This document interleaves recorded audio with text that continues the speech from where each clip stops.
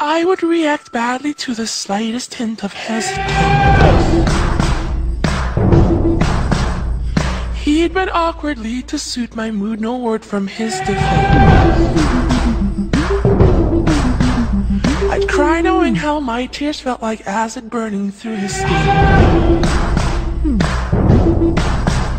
Pushed every little button but the right one that would let me in.